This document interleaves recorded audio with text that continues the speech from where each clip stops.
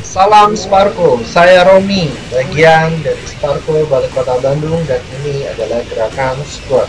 Gerakan yang bertujuan melatih otot betis, paha, dan pastinya bokong.